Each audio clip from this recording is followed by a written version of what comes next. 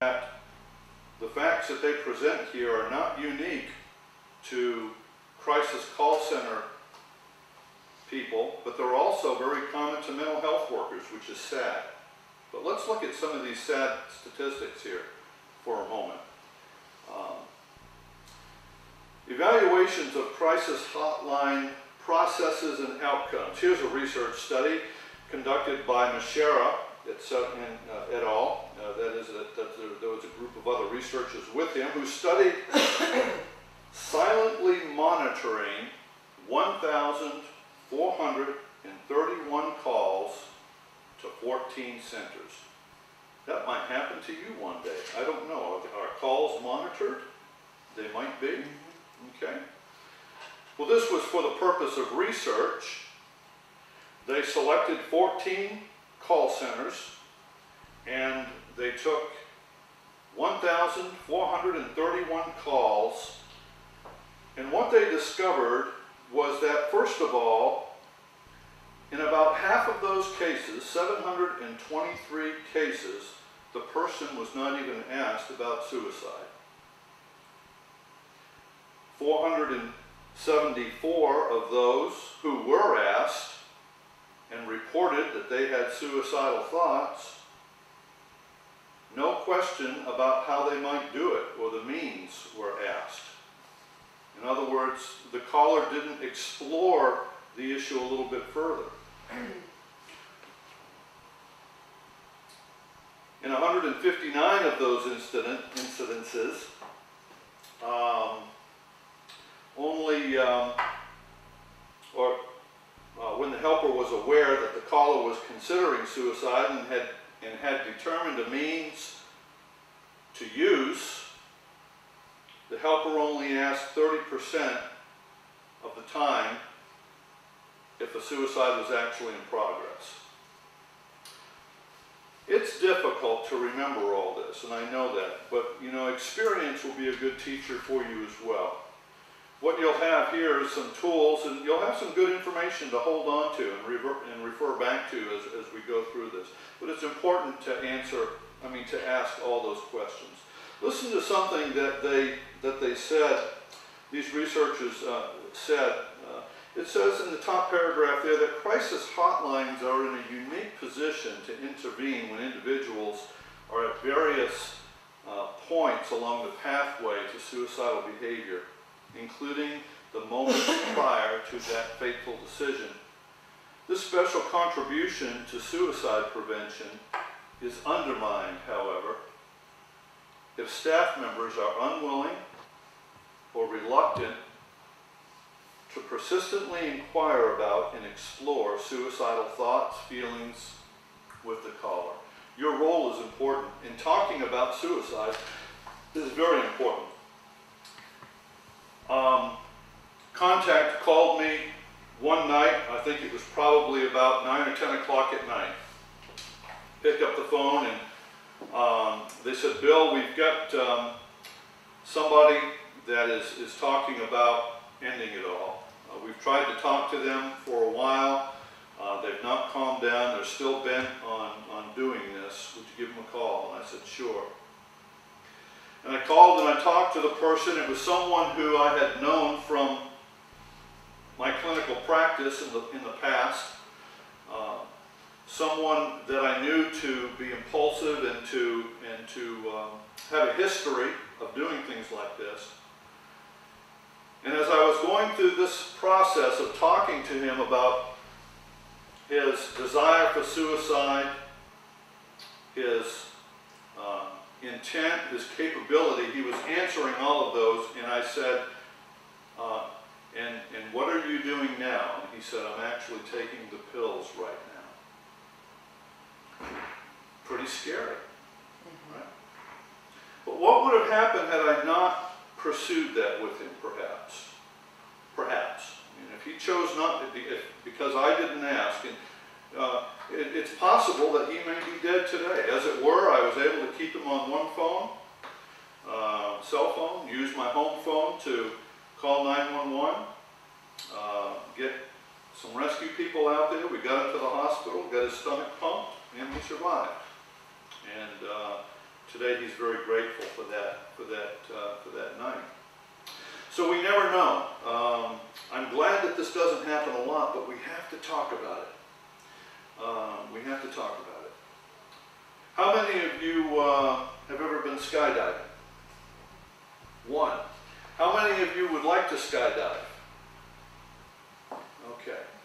No one raised their hands, not even the one person who went skydiving. I'd like to skydive though. I- I Yeah, really- it again. Yeah, Would you do it? Yeah. Yeah, well, you and I will go. My Yeah. sister did, I Did she? from the back. But let's suppose, let's suppose none of us really had any interest in skydiving. And uh, I were to talk to you about skydiving. Do you have thoughts about skydiving? And you say, no, I, I don't even really have any desire for it. Uh, do you intend to do that anytime? Uh, and you say, no, I never intend to jump out of an airplane. You, you have to be mad. You'd have to be crazy. So you've not formulated any plans? No? Uh, don't even have the means. Uh, I, I wouldn't even have the, the dollars that it took to get up in the, in the plane, and I had no desire, intent, or plan. But in talking about skydiving, how many of you now plan to go out and skydive tomorrow? No, no. You know, talking about suicide is not going to increase the likelihood of someone actually committing the act. Um, if you will if you'll turn the page, and then let me get some of my pages out of here because I've inserted some others that don't need to be here. Uh, if, if you'll turn um, the page, and on page four, the bottom there, uh, number E, it says, be assured that persistent assessment of caller suicidal ideations and inhibitions reduces the distress. Be assured that persistent assessment of a caller's suicidal thoughts, what are inhibitors? What does that mean? Things that hold them back. Yeah, the things that hold them back from wanting to do it. So your persistent discussion about their thoughts about suicide and as well as the things that are holding them back, they're going to be calling those buffers here later on in our, in our training, actually reduces stress. Um, in the adjoining column, these, uh, these writers state it's essential that every caller be assessed for suicide risk. A common misperception or misconception is that asking about suicide might aggravate or upset callers or plant the idea in a person's mind. Research indicates, however, that the opposite is true. We must be comfortable enough, therefore, with the topic to weave the risk assessment into the course of the call while maintaining rapport with the client, with the callers, uh, with whom there is less control than in face-to-face visits, right? How much control do you have when you're on the phone? Can you see what's going on? All you have is a voice and maybe some tone, you know, uh, on the other end of the line. So it's important to weave in a discussion of suicide as you're building rapport with that person, um, which is also very important, and you learn about that as well in, in, the, in the books that, that you have uh, under a um, section, I believe, entitled Empathy. Well, what are the four domains that are important to talk about? Page seven. The, uh, the first one is, is suicidal desire. Research to date does indeed indicate that suicidality is a multifaceted phenomenon. But the research has included that it includes three primary domains. And so you want to be thinking about these three primary domains as you ask questions. Suicide desire, uh, capability, and intent. You know, we, and I'll reverse that order sometimes, but desire I usually put first, capability, and then intent. And then the fourth one, buffers. But what is suicide desire? If, um, if somebody picks up the telephone and they say, you know what, I just don't care to live anymore. That's kind of a statement of suicidal desire, isn't it? Um, in my practice, I refer to these things as death wishing, you know. And I'll say to people sometimes, you know, uh, as a way of leading into a discussion about suicide, Joe or Jane, uh, you know, has there ever been a time in your life when you felt like, you know, if I didn't wake up in the morning, that would be okay with me? Or, you know, if my life ended today, that would be okay with me? And if they say yes, what are you looking at there? You're looking at suicidal desire. People that get into bouts of major depression will frequently find themselves there, or can, it's common for them to find themselves there. I just don't care to live anymore. Um, they may express, uh, flat out express a wish to die, I want to die. I don't care about carrying on. Um, or uh, maybe they have made passive attempts uh, in the past.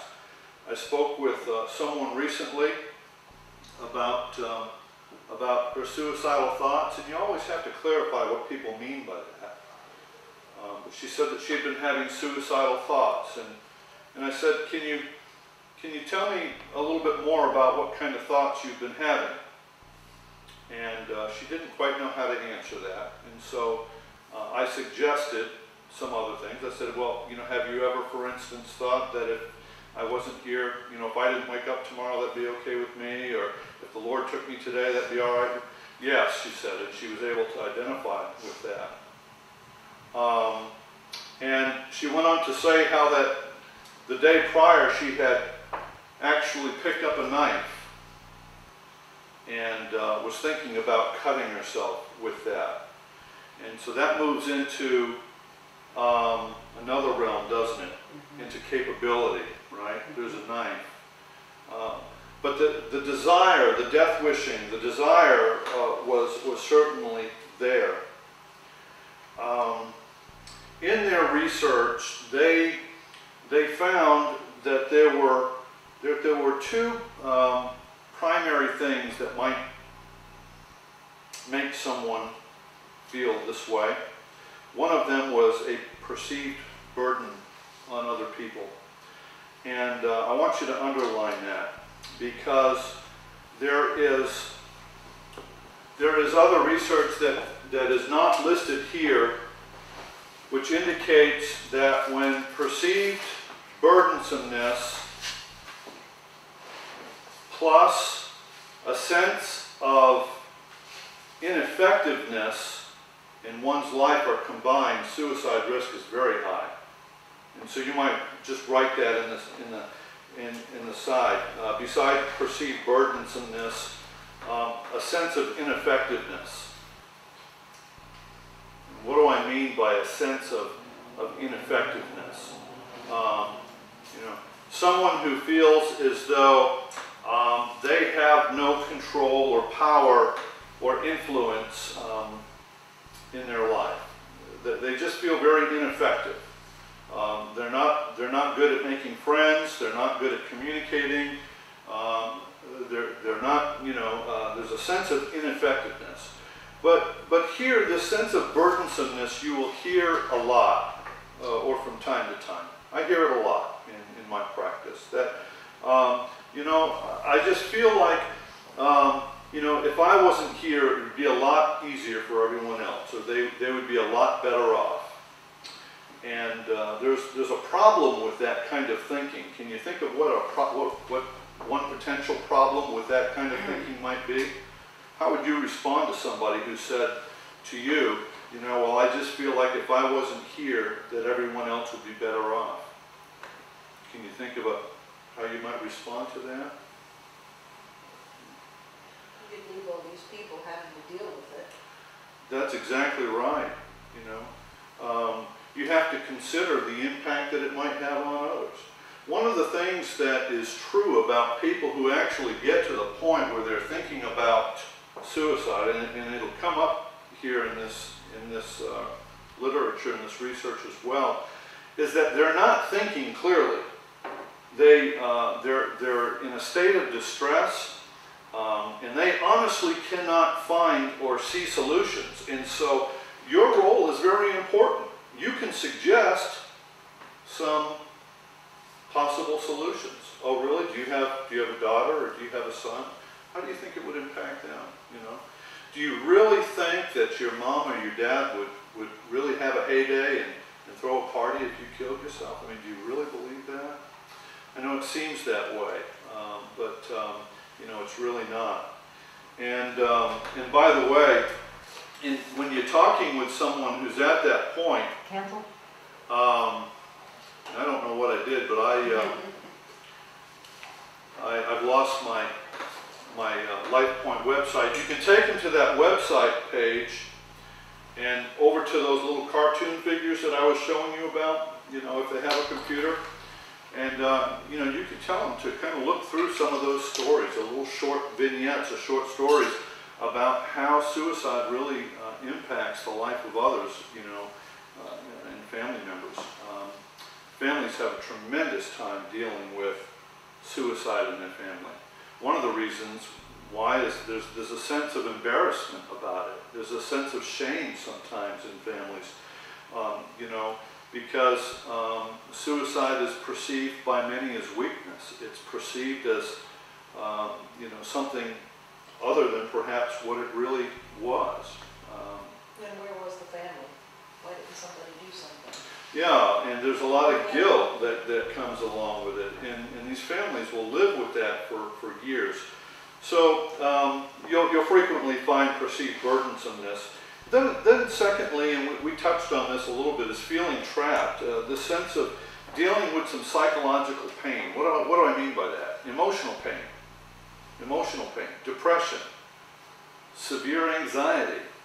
And by the way, uh, suicide risk is also very high with severe anxiety, so don't, don't think it's just depression. Don't, make, don't fall into that trap or that mistake.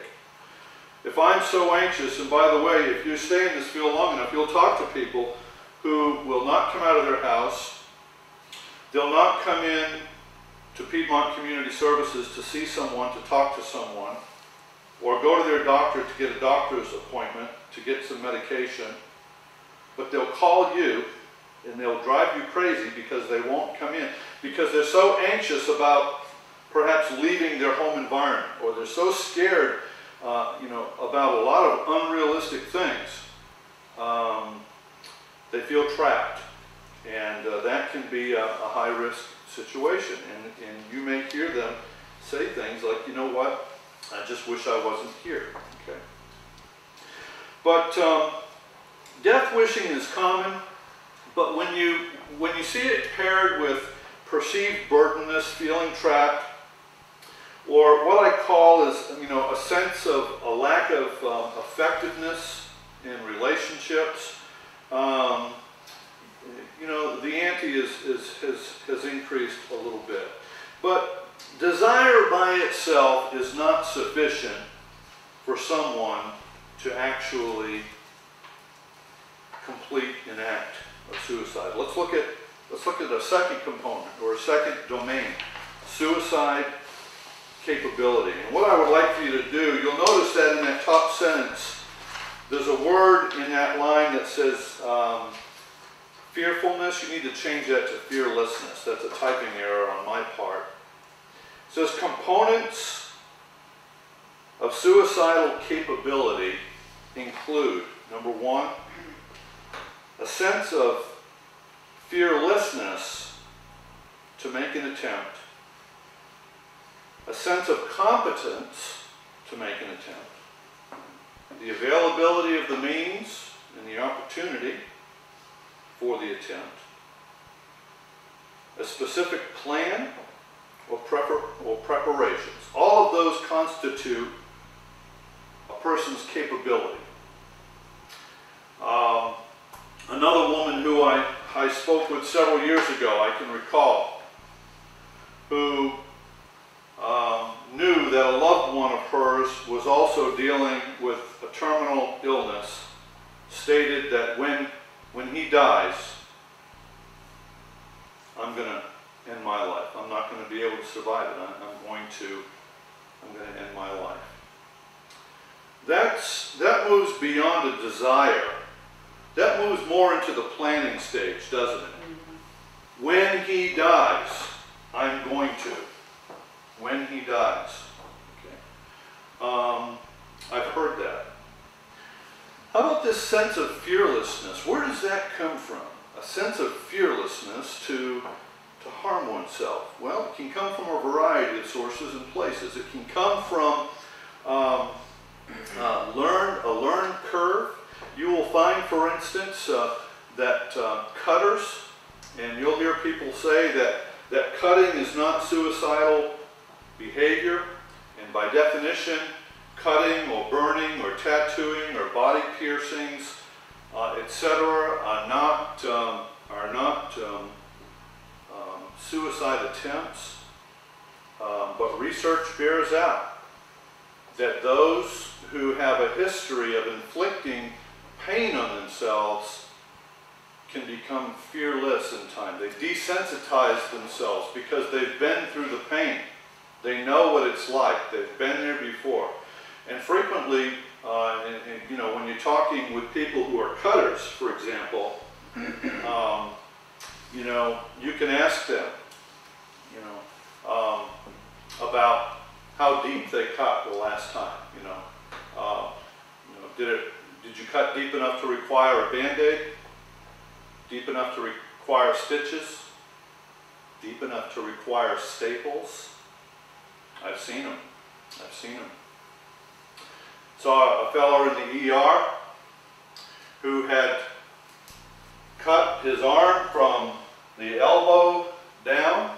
And by the way, if they're cutting this way, that's the most dangerous way to cut. A lot of people will cut across. Don't educate people on that, by the way. But he had, he had done it right and required something like 46 to 56 staples. Not, not stitches, but staples to bring himself back together again because the cut was over a quarter of an inch deep. There's a difference, and, and people that uh, have a history of doing this sort of thing, uh, where I was going with this, are really, they really are at higher risk, in a higher risk category than those who have not desensitized themselves to pain. Um, they have, in a sense, a sense of competence to make that attempt. They feel like they're able to do it for whatever reason.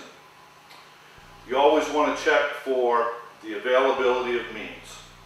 Always want to check for that when you're talking to someone. You get that telephone call and someone is really upset, they're crying, and you're asking them what's wrong and how can I help you, and they're telling you about some real serious problem in their life or some serious stressor that's going on in their life and that they're thinking about ending it all, well, you don't have to ask them at that point, do you have a desire? Because they've just said it, right? So you know desire is there. And you move into this area of capability and you ask them questions, you know, around, um, you know, this idea of, you know, have you thought about a plan and how you might do that? Uh, and they say, well, I have a whole bottle or a, a, a, a medicine cabinet full of medication I was thinking about taking. Well, there you have the availability or the means to do that. And what do you want to do as a caller if, if they tell you that they have the means and, and the means are available? It could be medication. How else could a person in their life? A gun? A knife? Um, Jump off the building? they might be calling you from a cell phone and standing on top of the BB&T bank and saying, I'm, I'm you know, I'm talking, you know. Um, yeah. Um, but if possible, what you want to do is find out if someone else is in the home and ask them, would they be willing to give the means to someone else? And a lot of times they, they will. Most of the time, actually, they actually will. Um, because they haven't gotten to the point where they intend to take their life. It's just, you know, they've had this idea. Uh, you know, if I were to do it, this is probably what I might do. And uh, uh, some people think about shooting. Actually, you'll talk, more guys will think about the more violent means of death, like shooting. Um, and and uh, in most cases, women will uh, talk to you about overdosing on, on uh, pain medications or something, um, or Xanax or, or something like that. Who do you suppose attempts more suicide, um, men or women? You're right, you're exactly right. More attempts are made by women uh, to, to commit suicide. Um, research also bears out that um, for that gender population, for women, uh, rates of depression are actually higher. Uh, and, and women deal with depression at earlier ages in most cases than men. Um, so, uh, uh, suicide attempts are more common among women. Now, these are these are general statements when I say that uh, in, in most cases they're the um, um, they're you know pills because it's not always true. There are there are women who use other means and violent means, but generally speaking, women will will overdose um, and um, and men will choose violent means. But you want to assess capability. Do they have the capability? In the second paragraph, it says it's important to note that suicidal capability factor, as defined above, relates to imminent plans and fearlessness about suicidality. And you might want to circle that. Imminent plans and fearlessness, those two things are underlining. Okay. What is an imminent plan as, a, as opposed to a distant plan? What, what does that word imminent mean? Huh? Anybody? That's going to happen. Yeah, it's, it's about to happen. It's, it's close at hand. It's imminent. It's, uh, you know, it's, it's, it's not this woman that I was talking to who said, when my husband dies, uh, I'm not going to live. It's, you know, I, I've been thinking about doing it now. So um, if, if someone is, is um, saying that, you know, they're really considering it, they have a plan, they've thought of a plan, and, uh, and there, there's no fear at all, uh, then, uh, then you're looking at some, um, some real capability. And that raises the risk. And uh, I'm going to show you a, um, a sheet here. If I had known that we had this, I could have brought a transparency, but, but that's okay. Um, you'll be, um, actually go to the back of your packet and pull out a piece of paper that looks like this. It's got the three squares with the circles on it. And you will notice there, um, in the bottom block, it says moderate to low risk. In the middle block, moderate to high risk. And in the top block, you're dealing with someone with high risk. Well, let's look at the bottom block first of all. What does D stand for? Desire. Desire, C, Intent. capability, and I, intent, right?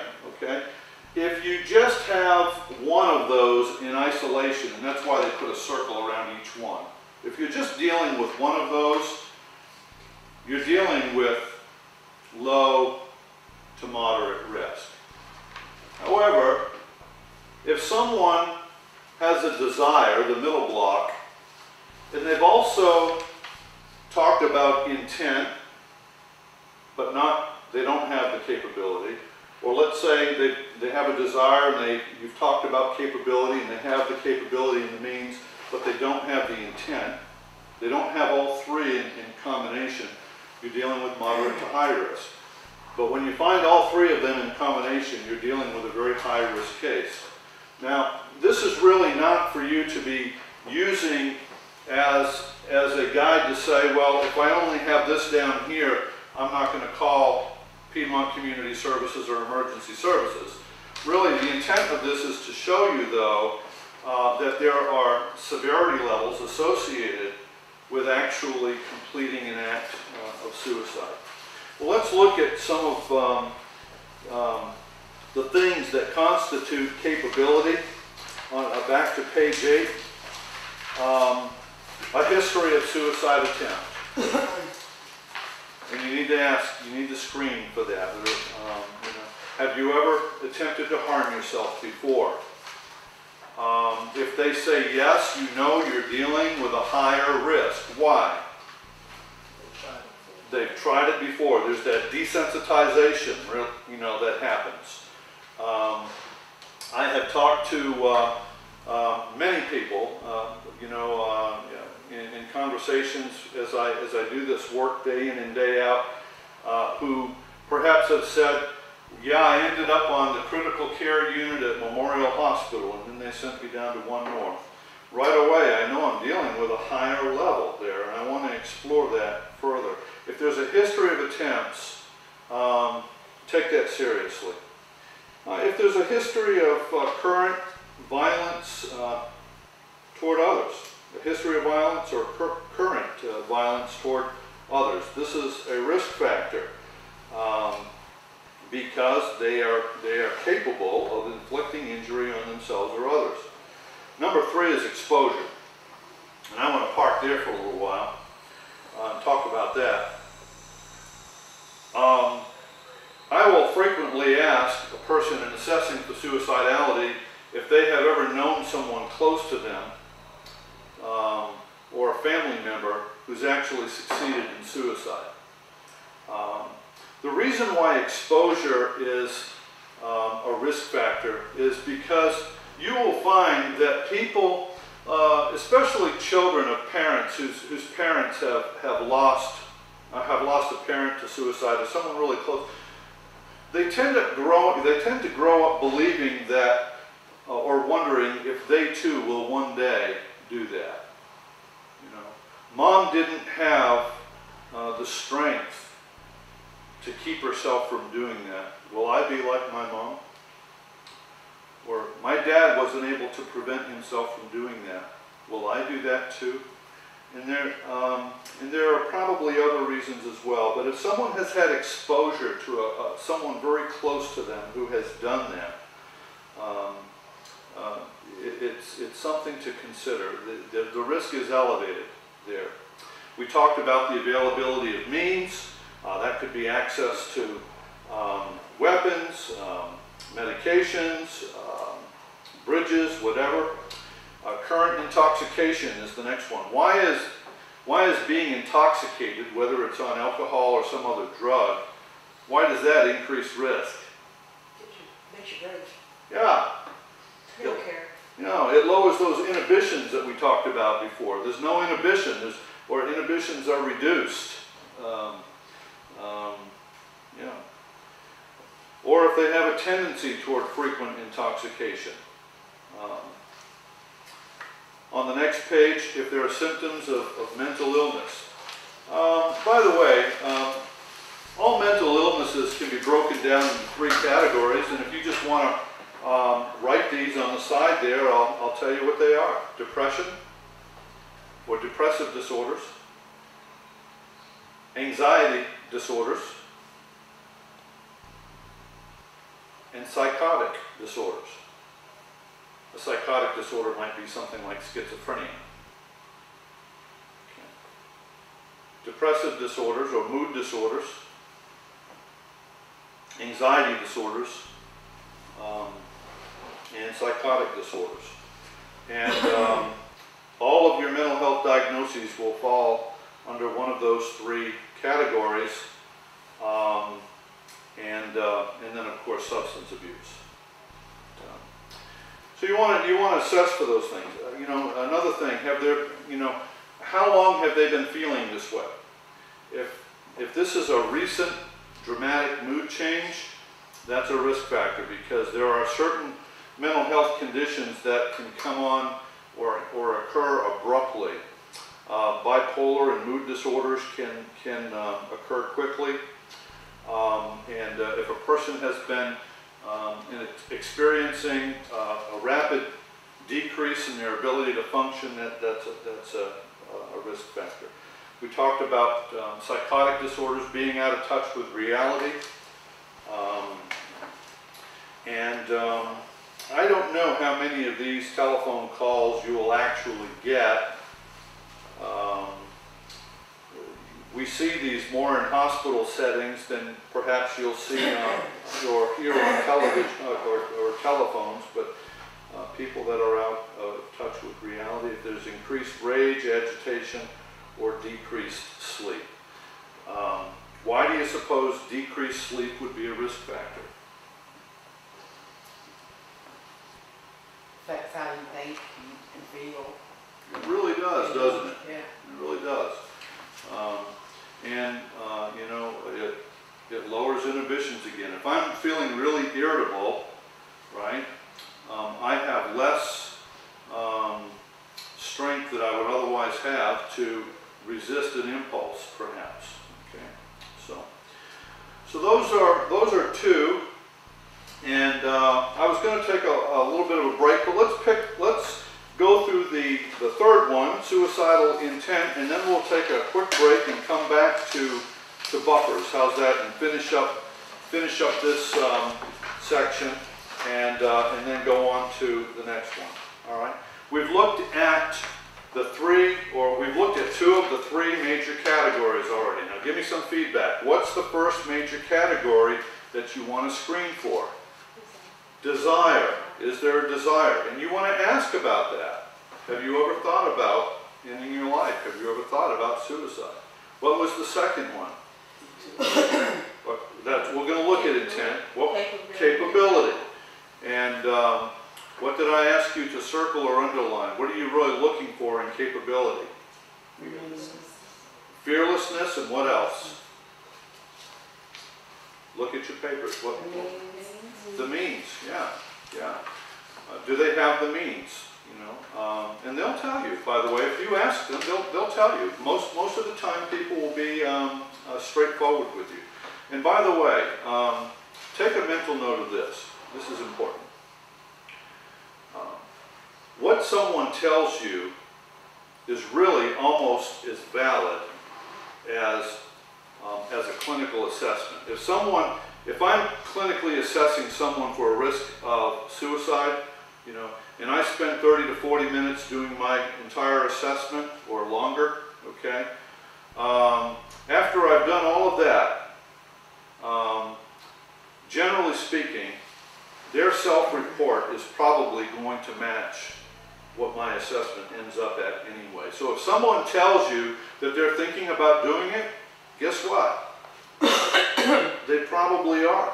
Okay, so so take that seriously, right? That, that's true. All right. Well, let's look at intent. Um, it says even more than desire or capacity, its relations to suicidality is plain. Those who intend a behavior often uh, enact it or act on it. There was some research done by Kalafat and his colleagues, um, and the caller's intent die score at the end of the crisis intervention was the only significant independent predictor of suicidality following the call. Did you get that?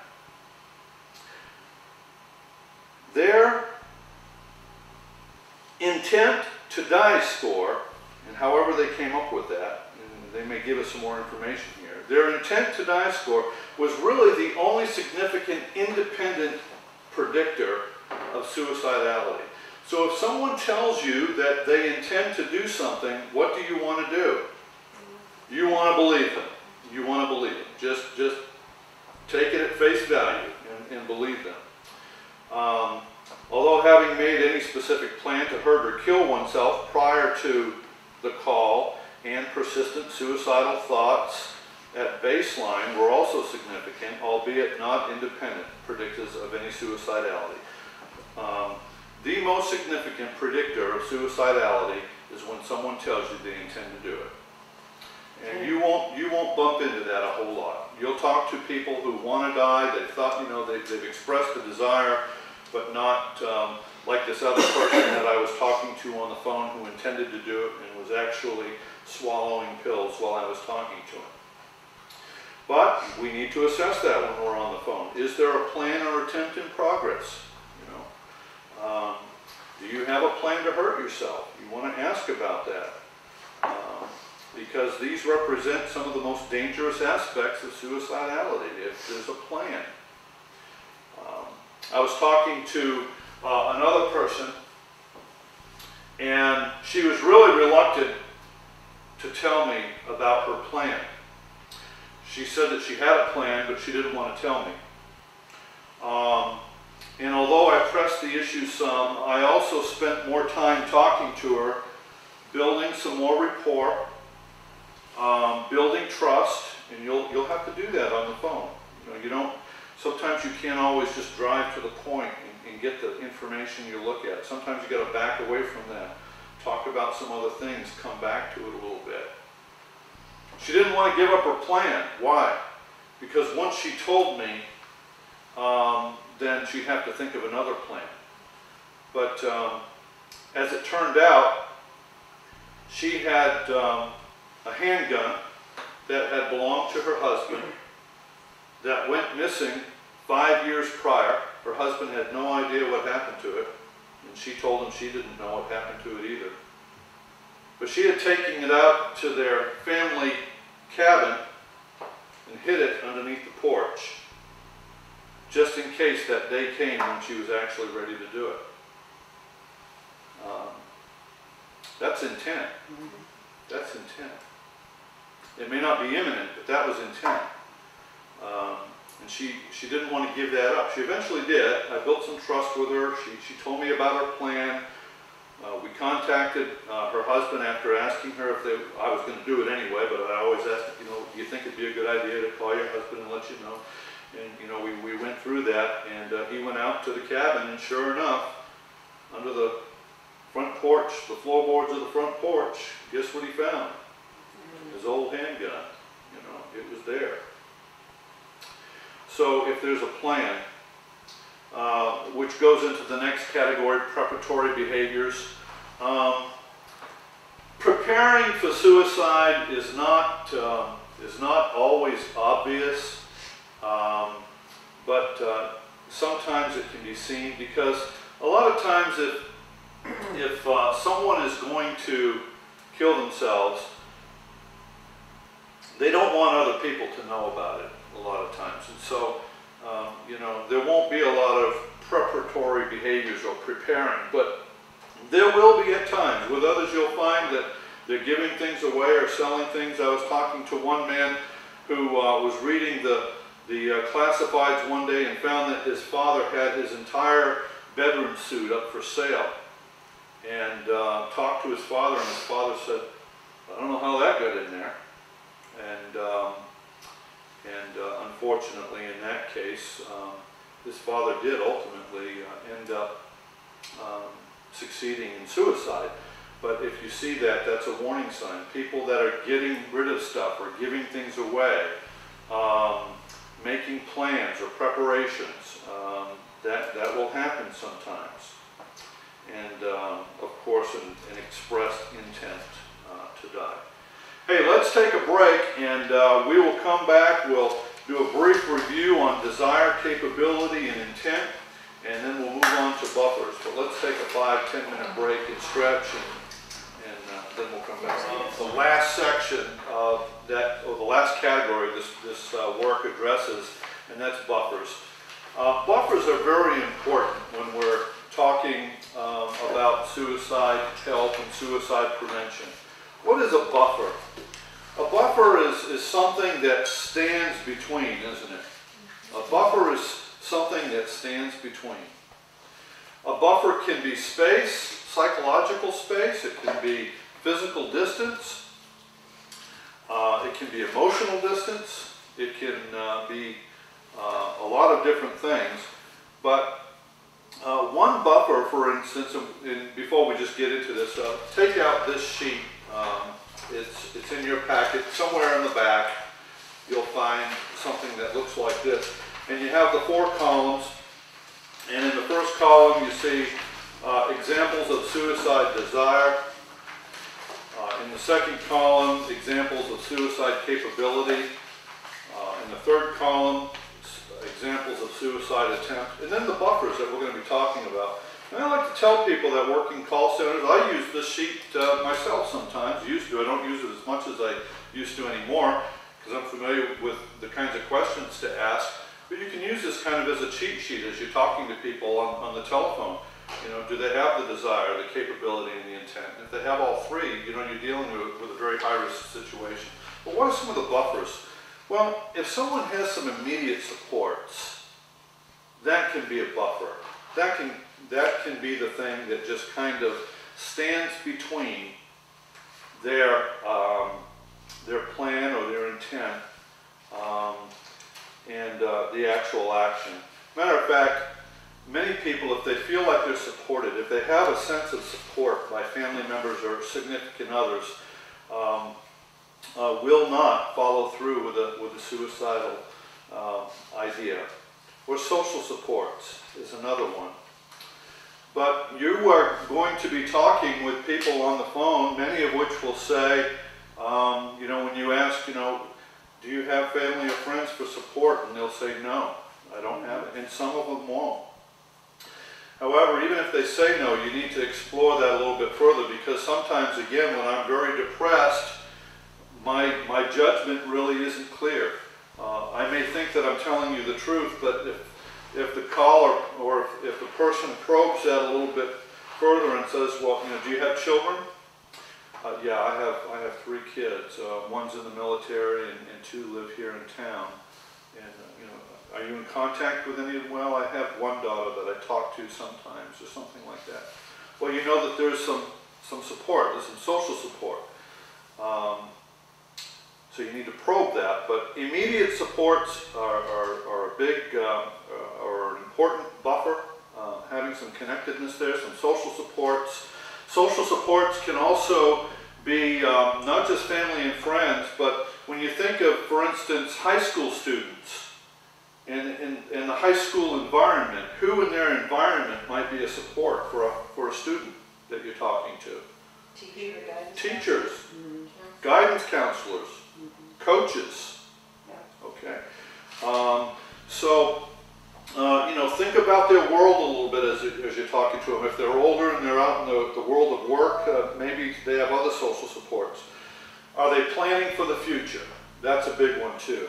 Do you have any future plans? Things that you'd like to accomplish in your life?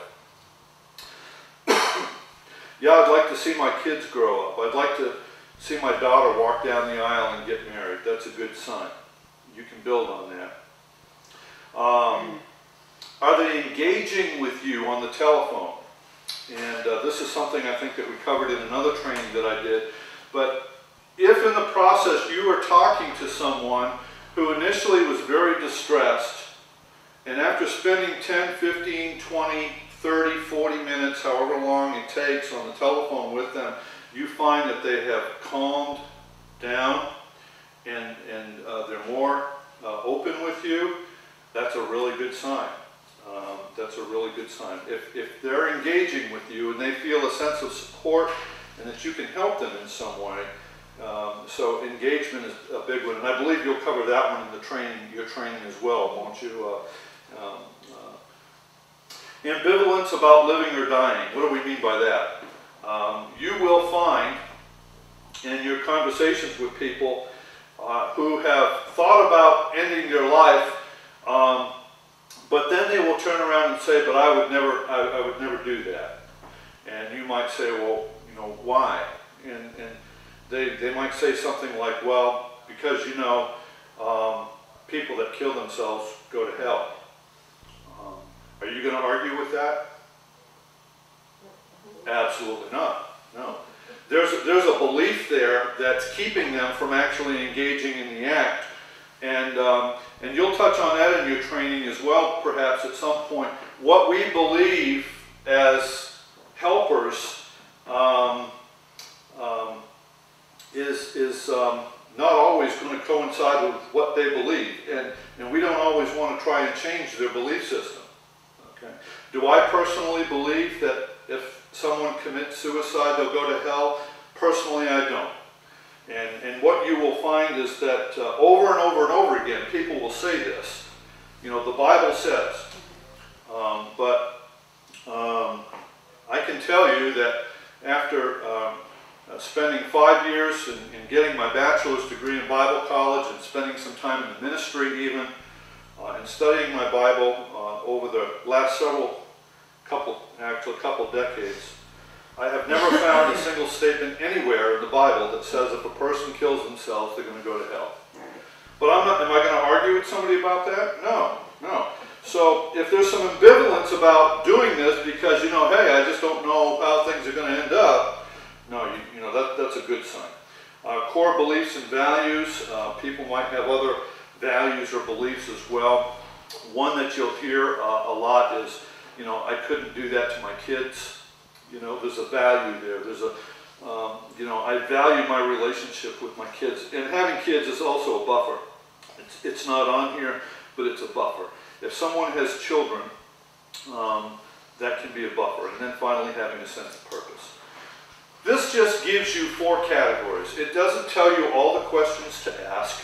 It gives you four general, broad categories um, that you need to be very aware of uh, when you're dealing with people on um, the telephone regarding suicide.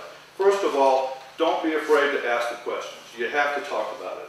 And by talking about it, you will lower their anxiety uh, and, their, and you'll increase their ability to deal with it. They're happy that somebody's actually talking about how they feel. They've not been able to tell anybody else, maybe but you. You will decrease their anxiety. Talk about it. You'll decrease the risk of suicide. Talk about it. Um, you know, check out whether they have the desire. Find out if the capability is there, the means, and find out if they've ever had an attempt. Before I close out this section, I have just included this in your packet. It's just something that I typed up myself. And I frequently, if I'm with someone in, in counseling or in the emergency room, and I have one of these with me, I will give this to the person because um, in the top block, it gives um, uh, some ideas for developing a safety plan. Uh, and this too comes from that website that we, that we looked at. Uh, uh, none of this material is mine. Um, it, it comes from that website. But then down below, it gives people some other resources. There's uh, telephone contacts, and you'll find your, the number to contact on there as well. Piedmont Community Services. There are internet sites, uh, one of which we pulled up tonight, and then other walk-in services that, that people can be uh, made aware of. Thank you for the opportunity today and sharing with you uh, the, the three major categories um, that you need to be mindful of when you're talking about suicide prevention, and then the one buffer, of course. Thank you very much. Thank you.